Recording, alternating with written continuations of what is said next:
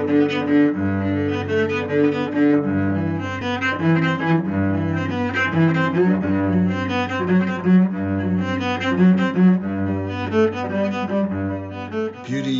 touches the mind and it touches the senses, certainly, but most of all, it touches the heart.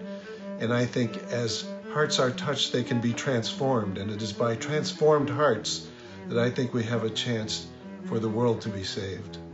The arts are an arena for not only individual expression, but collaboration. I discovered this very personally in my many years in Disney animation. It was an art form that really relies on a lot of people to uh, express a vision.